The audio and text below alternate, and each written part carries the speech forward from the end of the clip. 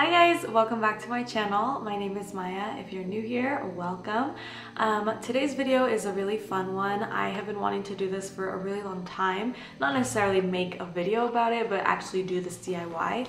So um, I went to the thrift store looking for different vases that I could turn into these vintage looking vases. I've seen these online a ton. Different interior designers that I follow have them featured a lot of the time, but they're just so expensive. I hope you guys enjoy the video and I wanna show you guys what I got at the thrift store. So the first piece I found was this one right here. I absolutely love the shape. I love the size. I don't love the um, like the carving that is into it. I mean, I don't know. It's kind of pretty, but not necessarily the vibe that I'm going for. I'm gonna go ahead and fill this in with um, wood filler, I think it's called, and um, let that dry and then go ahead and paint this. But the next one I found was this one. This one already kind of has that old vintage antique look to it.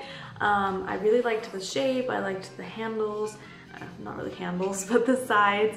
Um, I, I still think I'll paint this one though. The next one I got is this one here, and this is obviously a picture, and this shape is also really in. As I'm showing you guys these, I'll show you guys like my inspiration for these. Um, and again, really decent size, and yeah, I'm just really excited to see how these all turn out. The next one I got is this one, and this is like a jar, basically, um, like a cookie jar or whatever. Um, so it has the lid and everything like that. I don't think I'll use the lid, but um, I still really liked the shape. I liked the handles.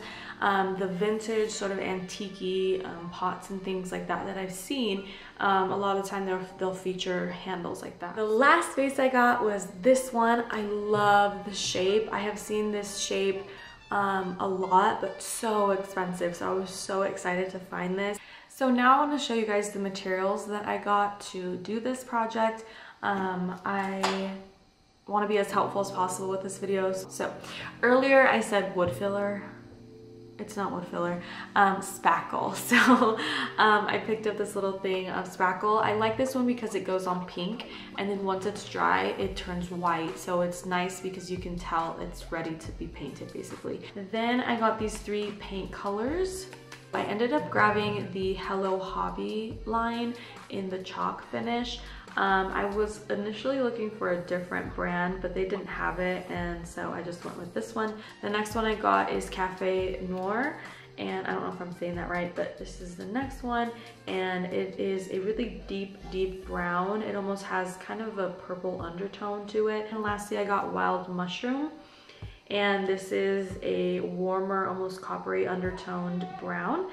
The next thing I got is this black matte spray paint, and this will act as our base layer. And then I got this protective top coat so I can spray them at the end. And then lastly, I got a little paintbrush, just if I wanna do a little bit of um, detail work or whatever. Those are the materials that I have. I think we already have a white spray paint spray paint.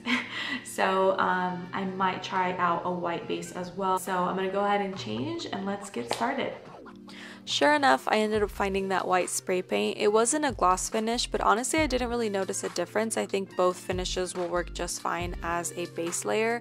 I did end up spraying more of the vases in white, and I didn't prefer the white over the black or vice versa. I think they both worked fine, and um, really it would be up to you what you end up preferring if you want to do this.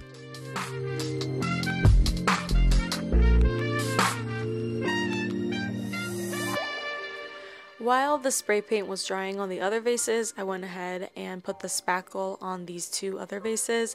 Um, so again, just filling in that design. And then of course, I didn't want the texture to just abruptly end. So I went ahead and extended it all the way to the bottom. And then on the smaller vase, it had um, projected like little design at the top. So I went ahead and filled that in and kind of gave it a messy look and tried something different as you can see. And I actually ended up really liking it. It didn't take too long for the spackle to dry, but once it was all white, I went ahead and sprayed those with spray paint. All right, now I'm gonna get started painting and I have a bowl of water here. I have some napkins to dab the paint on. I have a little paintbrush And I think I'm gonna put the paint on a bag just so that I can easily clean this up when I'm done.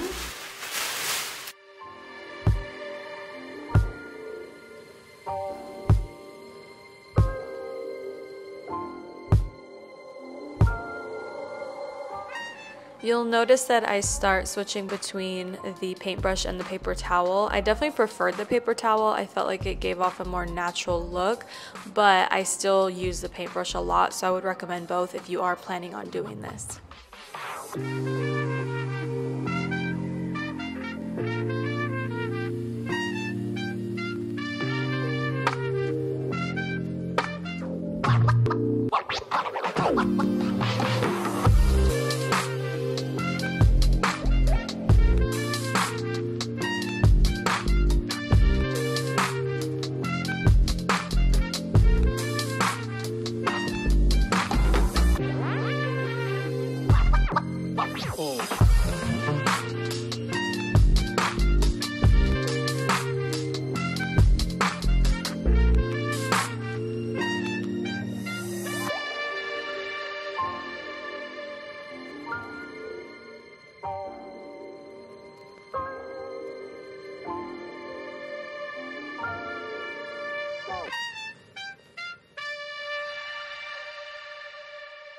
Thank you.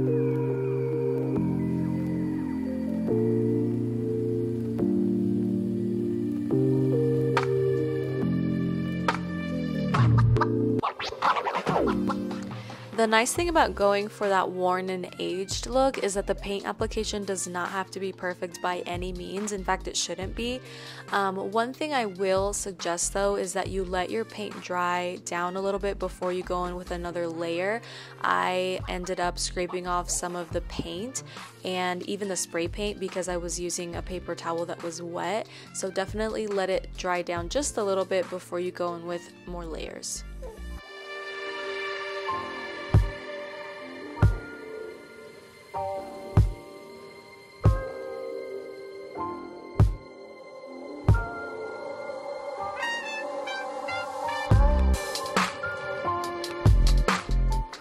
Once all the vases were dry, I went ahead and sprayed them down with that matte top coat just to make sure that everything was locked in.